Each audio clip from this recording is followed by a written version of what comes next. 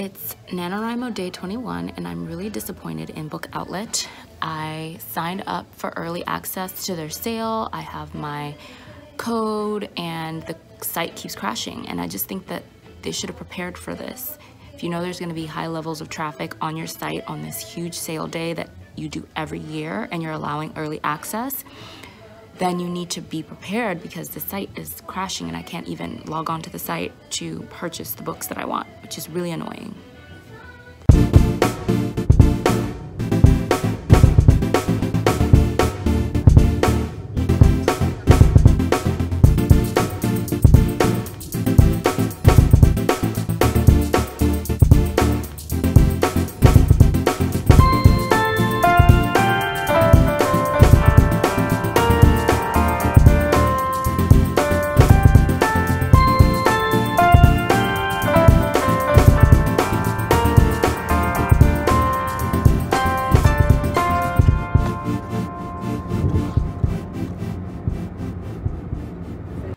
Okay, y'all, now I do have some book mail as well as some friend mail that I would love to share with y'all. Let's see. I haven't opened any of these boxes. Some boxes I received like Monday. It's Wednesday now. This one is Michelle Obama's book, Becoming Michelle Obama. I'm so excited to hold this in my hands. I'm definitely going to start reading this ASAP. Well, probably closer to the end of November because it's still in the thick of Nano and I don't want to get sidetracked even though I have been reading quite a bit recently. Hood books. More on the hood books thing later because I was thinking more about like how problematic the genre is and I wanted to talk about that and how much that doesn't take away from my enjoyment of it and how I don't like the term guilty pleasure reading or trash books but at the same time I don't mind people utilizing that term, but I don't like that term. I will talk about that in a moment. But Michelle Obama's book, it's beautiful. Don't like this camera angle. Much better. Love it. So that was highly anticipated. That was probably my most highly anticipated release of November, to be honest with you. And then I saw some I'm telling you, this phone stand sucks so much. Don't buy it, people. Don't buy it. Okay, so I saw some bookstagrammer that I follow raving about this book. They did a review and they were just raving and talking about how great it was. So I'm an impulse buyer and Amazon Prime plus that buy now with one click thing on Amazon really isn't good for people like me. Because that's exactly what I did. So this is, oh, I didn't even know I bought the hardback.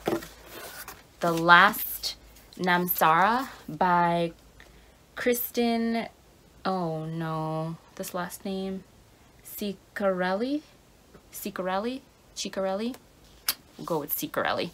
Kristen Ciccarelli, The Last Namsara. This bookstagrammer was literally raving about this book, talking about how much she loved it and enjoyed it and how it was one of her top reads of the year.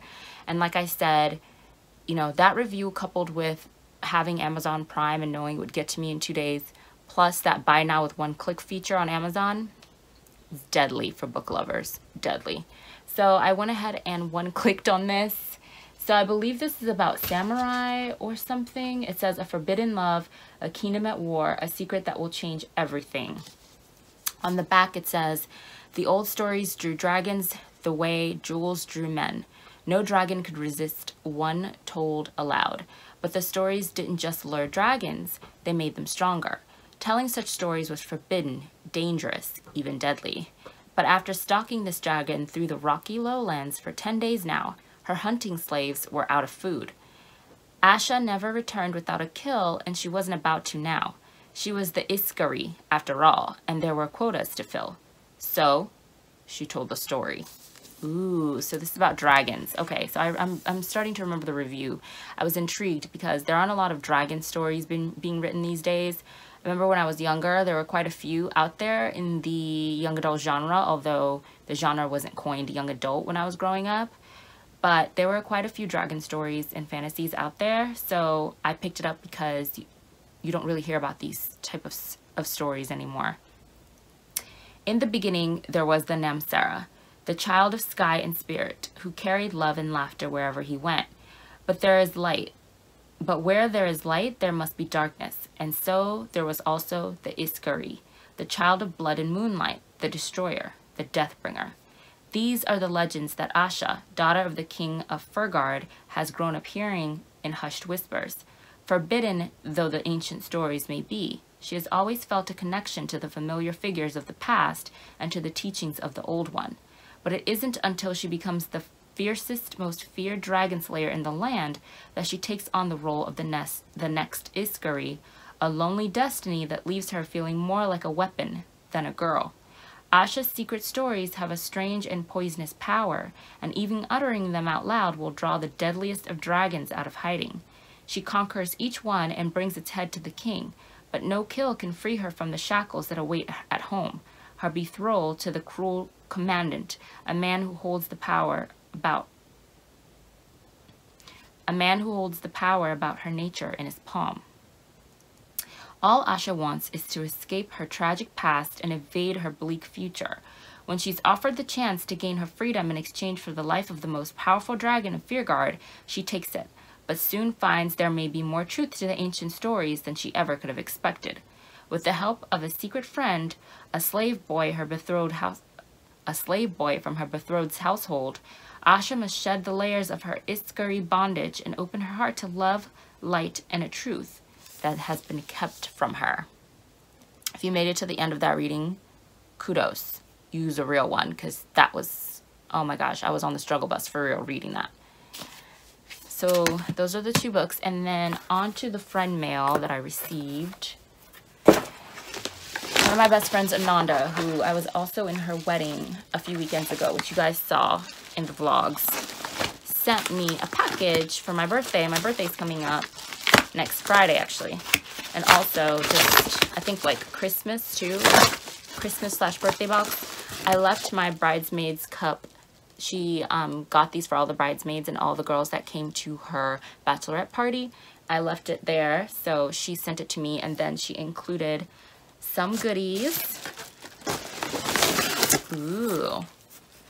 Let's see what's in here I should have thought to bring some scissors, but I didn't. Okay, so, oh, this is pretty. What's this? Oh, like sands through the hourglass. These are the days of our lives. This is really cute. I think it's a wedding favor. Yeah, it's a wedding favor from the wedding. Just like thank you gift or yeah, thank you gift, not a wedding favor, for being part of her big day. Oh, this is cute. This says Merry and Bright. What is this? Sugar frosting scented bath salts by Simple Pleasures. Super cute.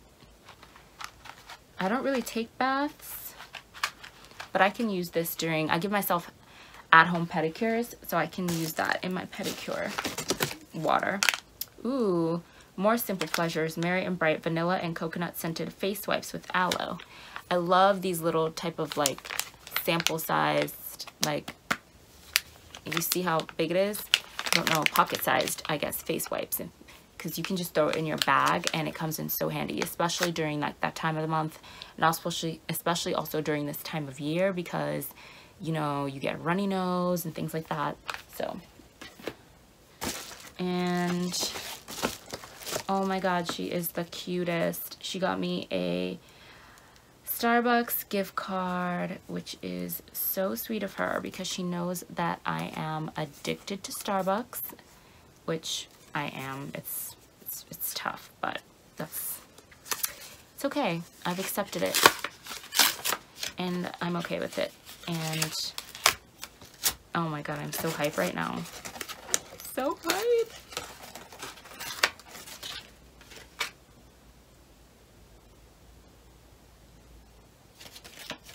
I have to put this in my wallet ASAP. I cannot lose this. And last but not least in here, this is, oh, this is cute. 2019 mini calendar. See how cute it is? I don't know where I'm going to put this. Super cute though. Thanks, Nanda. I love you. My bestie. Love you to death. So yeah, um, okay, so now I wanted to talk more about like the hood books that I've been reading and I know a lot of different types of people watch my channel. I know that you guys all have different types of reading tastes. Um, the books I read are really varied, but for the past few years, I've been reading primarily new adult books. I ventured into new genres like erotica, and I've been reading more adult fiction than my teenage years. So I, I love young adult fiction, but I don't read it a lot, as you guys may have noticed. I own a lot, a ton, but I'm not always in the mood for it. Um, so I've been reading primarily on my Kindle, new adult, and now this year, I went into this year, if you caught some of my earlier videos, so determined, right, to break out of the new adult bubble. And to be to be honest, I had gotten really tired of reading new adult. Now, towards the end of last year is when I discovered all the great fiction books out there, um, primarily romance books with black male and female protagonists. Um, I don't know if you want to call them African American fiction, whatever you want to call it. Um, you know, and then there's a subset, urban fiction, which has the hood books, as I call it. But, you know, it's so much bigger than that. Like, I discovered so many amazing authors, mostly contemporary, but some fantasy and some... Mm, did I see any science fiction? One science fiction I read. Mostly contemporary. And a lot of them were like new adult-ish too, but with black protagonists. So that was towards like the latter half of last year and I was so hype about that. So if you watch my favorites of 2017 video, you'll see like some of those books sprinkled in. But I didn't start the year off that way. But last year I had a TBR jar and I was so determined to read like more serious books, serious reading, more, you know, books that people I guess would consider you to be like smart if you're reading it or or intellectual or interesting.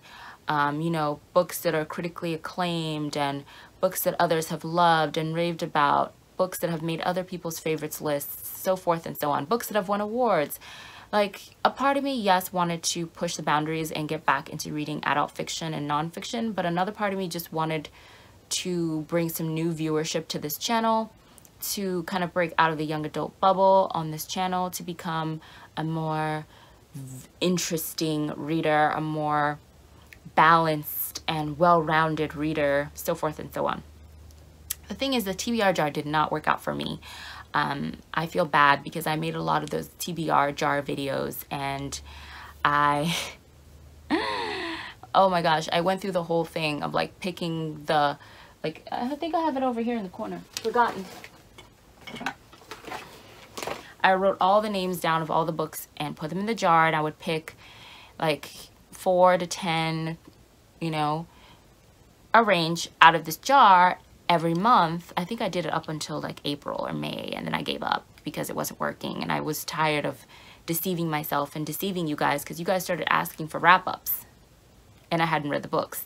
And that's the thing, even like the video I made, top 10 books I want to read in 2018, haven't read any of those books. Like it never happened. And it was a mixture of me being in a tremendous reading slump slash me really being focused on my writing in this year slash me being like completely infatuated with hood books and that being all I wanted to read. That and other books featuring black characters and black protagonists and just black people.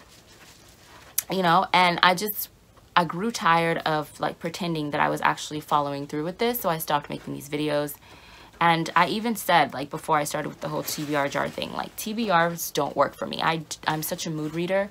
I've tried and I try and I try ever since I started this channel. I think I followed through with a TBR at the very beginning of this channel when I still had that zest and zeal and excitement of being new on BookTube. And I was still trying to gain an audience and gain viewership. I would stick to my TBRs because there was this pressure, like, you need to read all these books so you can do this wrap-ups because wrap-ups get views like, uh, if you go back to the beginning of my channel, you'll see a lot of wrap-ups and you'll see a lot of hauls, a ton of hauls, because that's what was getting views and I was trying to build an audience. Well, I just want to be honest, and that's why I'm fitting this in this nano vlog, because not to be rude, but it's like my true die-hard subscribers watch these vlogs. And so you guys are really the ones that I want to talk to about this topic. Everyone else probably won't find out because I don't I'm not going to make a major main channel video about this. At least not right now, not to my knowledge. Who knows? I might change my mind tomorrow. Happens every day. Happens all the time with me. But anywho's, um, I say all that to say that this year's wrap up is to, I'm a little hesitant to make it because no one talks about urban fiction on booktube at least that i've seen and the genre can be very controversial not just because it features like one subset of society right black american um, the black american population that lives in the hood and it glamorizes glamorizes drug culture glamorizes um, that type of lifestyle, a lot of the characters have gone to prison or in and out of jail, are drug dealers, have drug empires, um, do really moralistically negative things to get by. It's all about get money, get rich. Um, it's all about the money.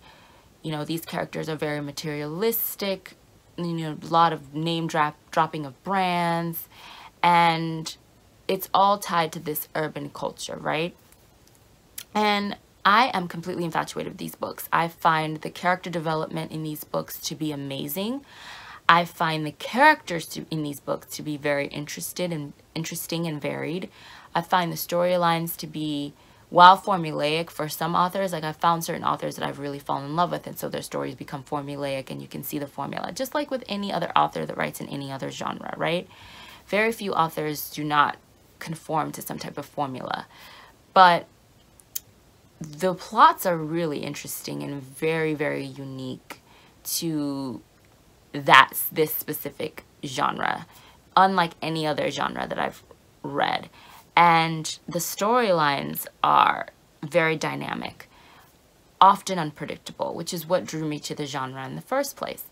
And like I said, I read a lot of these books when I was in high school and then I stopped and I've recently gotten back into them because they're all over Amazon, you know, these indie authors and even some smaller publishing houses are pumping these books out. A lot of these authors are incredibly talented their writing game is amazing, right? And they're in a genre where they're probably looked down upon or they're seen as not as serious. Oh, you're not a serious writer. You're not a serious author because you're writing these these types of books, these types of books, trash books, this trash genre, right? And it's a guilty pleasure. Oh, I'm reading this. It's my guilty pleasure reading. So it just strikes me as disingenuous of me to approach this video or this topic in that manner because I'm genuinely really enjoying this genre. I find a lot of these authors to be very talented, as I've said before, and it's very problematic. I'm not going to shy away from the problematic, um, the problematic issues, right, at hand. You know, the glamorization of certain lifestyles that are not beneficial to most people. I don't know the age groups that's reading these books, I mean, I, I hope it's not young, impressionable teenage girls, but I was a young, impressionable teenage girl reading these books. But the culture portrayed in these books is so far from my own that I saw it purely as fiction and I enjoyed it as such. I am well aware that there are people out there who live this lifestyle or have grown up in this and or have grown up in this environment and so they are able to relate to these stories a lot more than I can. I'm coming at it as purely entertainment and it's a fic you know a fictional value to me whereas someone else can really be relating to these books on a core deep level where I can't, you know. So, I don't know if I'm making sense. I feel like I'm rambling, but I'm basically just trying to say that I understand that the genre is problematic and glorifies and glamorizes certain lifestyles that is probably not the best in terms of reality. You know, it's not what you want to pattern your life after, but this is fiction. And as long as, you know, you're not a young, impressionable young person who is taking this stuff as face value and making this the building block of your moral code, then you take it for what it is, which is a damn good story that is well written and takes you on a roller coaster ride where you're not quite sure what's going to happen with writers who are not afraid to kill off their characters, who are not afraid to villainize their characters, who are not afraid to humanize their characters, and allow their characters to make major mistakes and come back from those mistakes. So, all in all, I would love to make a favorites video for you guys. Just know what it's going to entail and be okay with that. If not, you don't have to watch it. Maybe it'll introduce you to a new genre. Maybe it'll open your eyes to a new new type of reading experience. I'm not sure. But these books are very addictive and they are very consumptive. It's like fast food reading, like McDonald's. It's like the McDonald's of reading. But if McDonald's had like used real ingredients, right? And it wasn't all full of chemicals and trans fats. Yeah. but yes, whew, I hope I articulated myself properly because I feel like I didn't. But I hope you guys understood what I was trying to say. If any of you else read these type of books, definitely communicate with me down in the um, comments and we can chat and exchange some of our favorite authors. I'm always looking for new authors to discover. And yeah, I will catch up with you guys later. I probably will not get any writing in today. I haven't written at all today. This is the first day, no, the third or fourth NaNoWriMo day where I haven't written anything. But then again, it's it's still early on. It's only like five something, so we'll see. You'll see in this vlog if I do write anything. I've got a few more unboxings to do. I got one more book mail package thingy in the mail today that I just found out about. And then my book of the month box for freaking November arrived ages ago, weeks ago, and I never opened it, which story of my life. I get packages and never open them for like weeks. And then I did an unboxing, or I'm doing an unboxing of this facial brush. Um, this, you guys are gonna die. I bought this a year ago, guys. A complete year ago, and I just opened it today. Um, to be fair, I've been using the Vanity Planet Skin for Perfect Spin for Perfect Skin Brush. You've probably seen all over social media. All those little Instagram model people and ex-bachelorette and bachelor contestants love to advertise that brush. I bit the bullet in 2015 or 16, bought the brush. Never used it for like a year. Finally started using it in 26, end of 2016 all throughout 2017 my skin was amazing. It was so great. And then I stopped using it for about eight months this year and I regretted it. Um, and the reason I stopped using it was because my brush heads got old and I couldn't find new brush heads long story short. So I en ended up ordering new brush heads like last month from the Vanity Planet website. Started using my um, Spin for Perfect Skin again. My skin cleared up. Started to look great and then the freaking brush died and I thought it was the batteries. And I'm still not 100% sure if the brush is broken or if it was the batteries because I dropped the brush that morning and I came home and I tried to use it that evening and it wasn't turning on. So I'd never changed the batteries the whole like year that I've been using it collectively like year and some change on and off. You know I took that break. So I was like okay I'm gonna give it the benefit of the doubt. Maybe it's the batteries so I went out shopping on Sunday, this past Sunday, and I was going to get batteries, but of course I didn't. I bought everything else though. So then I remembered, I was like, oh, I don't know when next I'm going to have a chance to go out and get batteries, XYZ, because I don't have a car right now, so I've been Ubering everywhere, so I don't really like to drive. Like, I don't like to just, have to plan my outing strategically, basically is what I'm trying to say because normally I use like one of my parents' vehicles, but like I said, I usually have to Uber, so I just am very strategic because Uber costs money. So then I remembered that I had this, ooh, I just hit myself in the face, that I had this baby laying around that I bought freaking a year ago on a whim. I bought it on a complete whim because I was researching more facial brushes and I ran across this. It had decent reviews and I liked the fact that it was it didn't use batteries and that you just plug it in to charge it. So I literally just purchased it on a whim and then just never used it. And then I misplaced it and I couldn't find it for the longest time. So I had an epiphany and I all just like all of a sudden remembered where it was. So I found it. Long story short I opened it today because my Spin for Perfect spin brush is out of commission due to either the battery issue or oh, I hope it's not really dead after dropping it. I opened this today and it's charging in the corner. Let me show you. Here it is, charging peacefully. I plugged it in and I will let you guys know how it goes. It comes with three brushes. The brush that's on it now, I believe this is just the normal brush, and then it comes with a sensitive brush head and then an exfoliating brush head. Let me show you what the box looks like inside.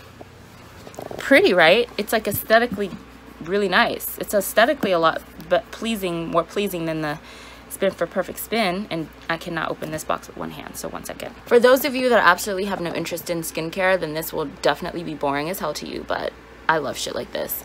This is what the box looks like. So that's where the brush was. This is where the charging base was. This is where the charger was.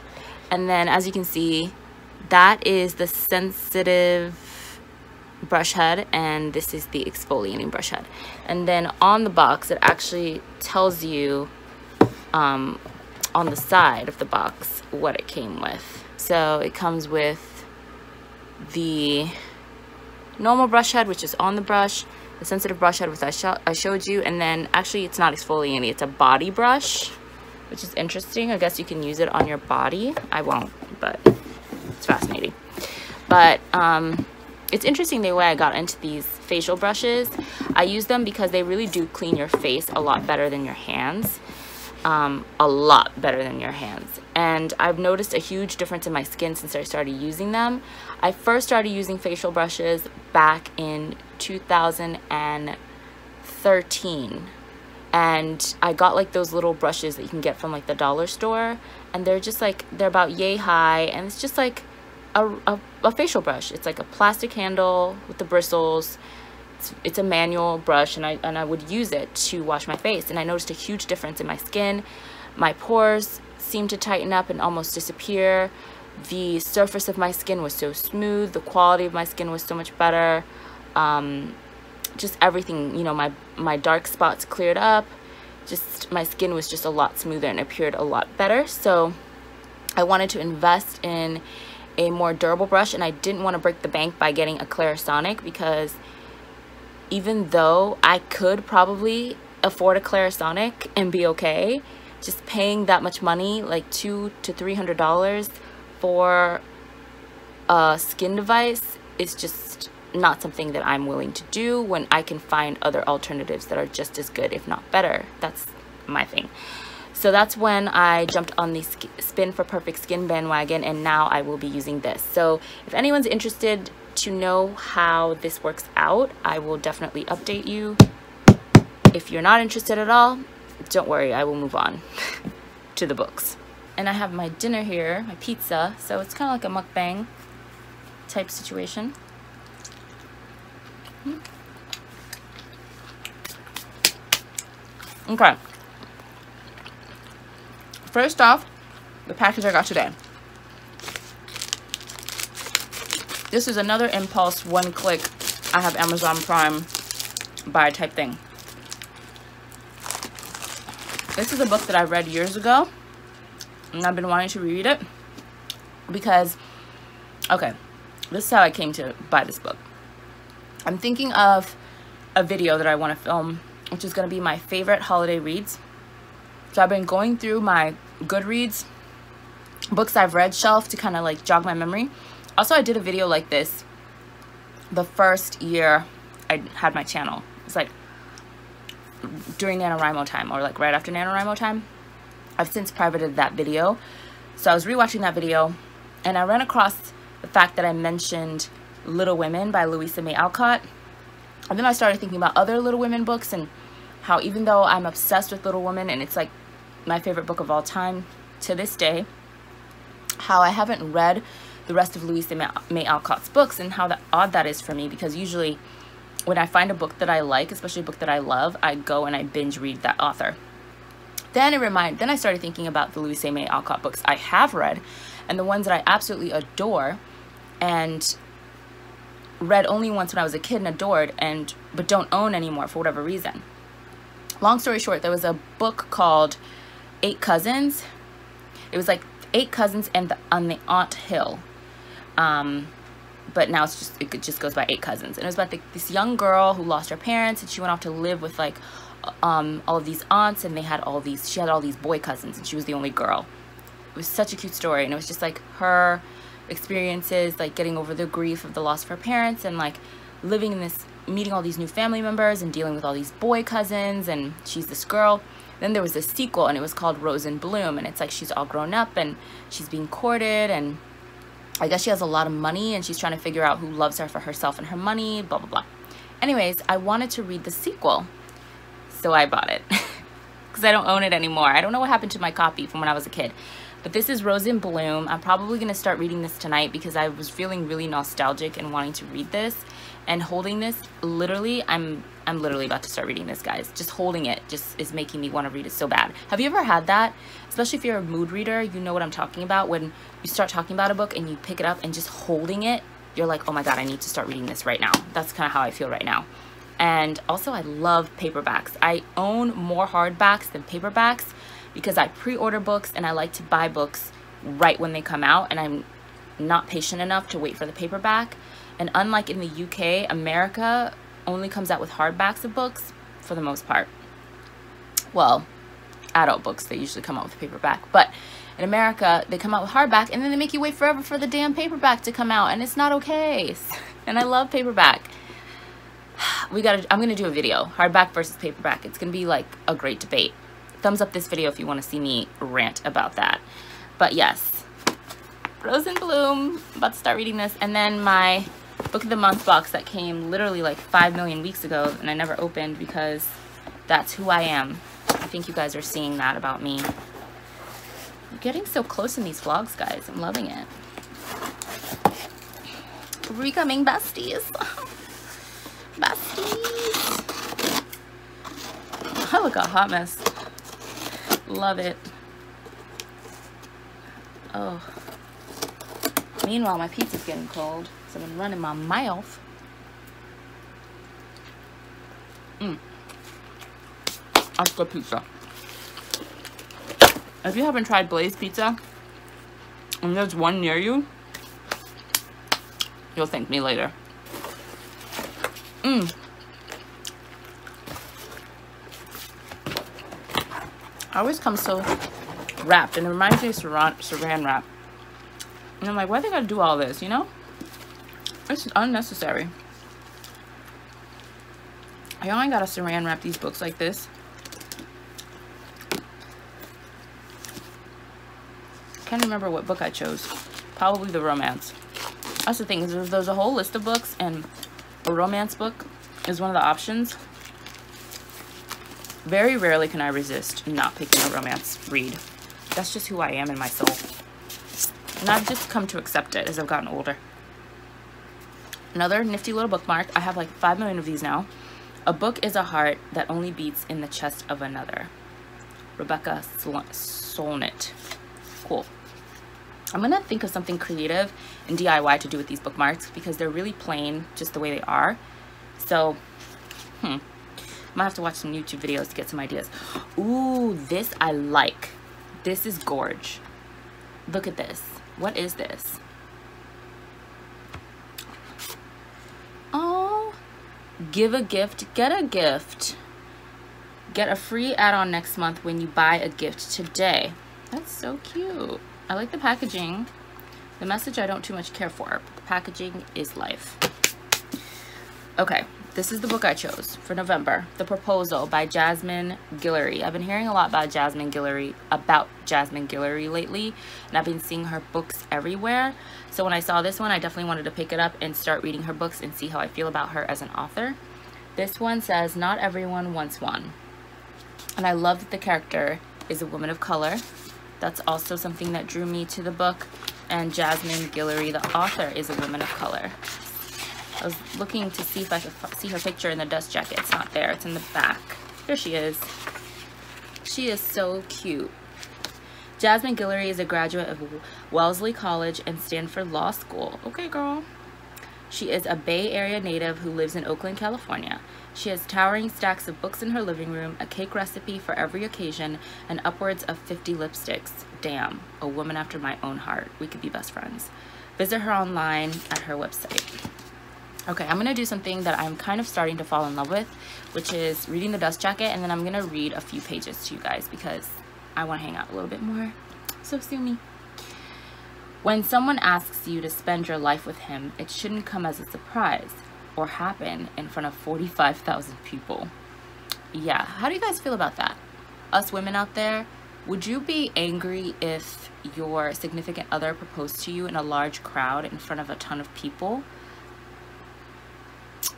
I have mixed feelings about it because I'm such an introvert that I think that a private proposal would be really romantic and would definitely be more comfortable, but I'm also strangely an exhibitionist. I mean, I was an actress for years and I love being on stage, and there's something about the attention that having my significant other propose to me in a public place wouldn't really piss me off. Like, there's something very romantic about that too, and having everyone like join in in our joy and, and share our moment and be happy for us as long as that person is actually someone you want to marry and you've discussed marriage as well, then sounds like this wasn't the situation here though. When freelance writer Nicole Patterson goes to a Dodgers game with her actor boyfriend, his man bun, and his bros, the last thing she expects is a scoreboard proposal. Saying no isn't the hard part. They've been dating for only five months, and he can't even spell her name correctly. Yeah, that's not a good sign. The hard part is having to face a stadium full of disappointed fans. At the game with his sister, Carlos Ibarra comes to Nick's, rex- comes to Nick's rescue and rushes her away from a camera crew. He's even there for her when the video goes viral and Nick's social media blows up, in a bad way. Nick knows that in the wilds of LA, a handsome doctor like Carlos can't be looking for anything serious, so she embarks on an epic rebound with him, filled with food, fun, and fantastic sex.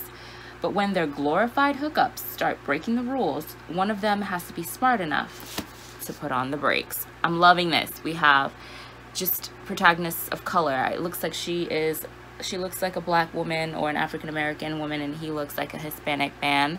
So or Latino man. So I'm loving this. Let's read a few pages. To my dad, Paul Guillory, you have always believed in me. Thanks for raising me to believe in myself. So sweet. Chapter 1 Nick Patterson looked around at the perfect Los Angeles day. Clear blue sky, bright green baseball field, warm sun shining down on the thousands of people with her at Dodger Stadium. There was only one thought on her mind. When can I get out of here? Fisher was next to her, his blonde man bun golden in the sun, laughing as he drank warm beer to celebrate his birthday. He and his buddies were talking about lifting, or their latest auditions or their upcoming car purchases, all of the things his friends always talked about, all of the things Nick couldn't care less about.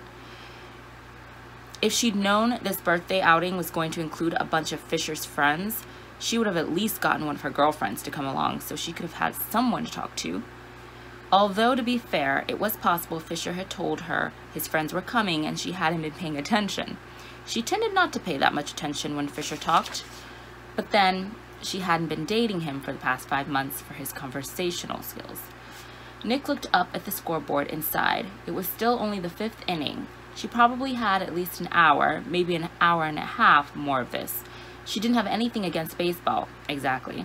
It was just that she'd rather be spending this beautiful spring day at home with her laptop and a glass of bourbon on the rocks than outside at a baseball stadium with a warm beer.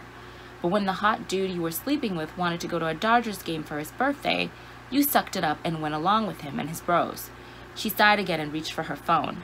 Maybe she could get some work done as she sat there. Just as she was starting to make some actual progress on a draft of an article, Fisher nudged her hard. Nick, put your phone down. You can't miss this. He threw his arm around her and kissed her on the cheek. She pressed save and tucked her phone back in her pocket. His favorite baseball player must be coming up to bat or something. She looked down at the field, but nothing was going on there. She followed Fisher's pointed finger and looked up at the scoreboard just in time to see on the screen. Nicole, I love you. Will you marry me? Fisher. She turned to Fisher, her mouth wide open. What the hell is going on? To her horror, he dropped down to one knee on top of the peanut shells that carpeted the concrete, dangerously close to the puddle of spilled beer. Oh God, he had a ring box in his hand. Nicole. He tucked a strand of hair behind his ear and opened the ring box. She averted her eyes. Will you make me the happiest man in the world? We'll stop there. Good times.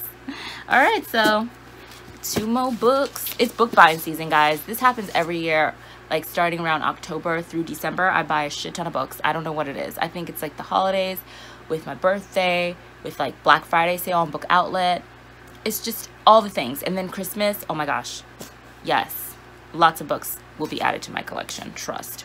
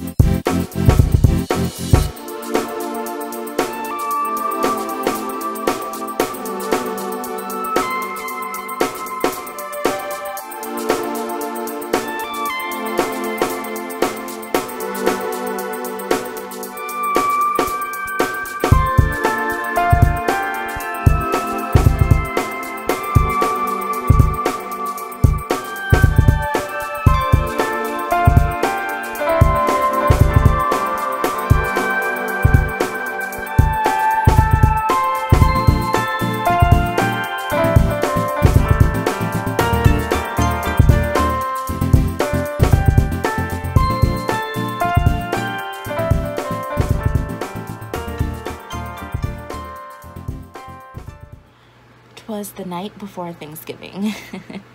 so, reading a few pages of Rose in Bloom, which it's interesting getting back into that old classical style of language and how it was tripping me up because it's been so long since I read a classic and it made me realize that I'm out of practice and my brain is out of practice with that style of writing, the vocabulary used, the sentence structure, just the vernacular of the way the language flowed back then with the writing and that made me sad and I was like I need to stay with it and read more classics throughout the year so that it just exercises that part of my brain that reads classics easily. Like when I was a kid I used to zip through them because I was used to reading them. Anyways I say all that to say that that put me in the mood to watch a classic film like an old-timey film which some of my favorites are classic films. So I'm on Amazon Prime right now trying to find a classic film to watch. And I don't know. Part of me wants to watch like a Katharine Hepburn movie or should I find a Christmas movie? Like an old Christmas movie. Hmm. I'll keep you guys posted.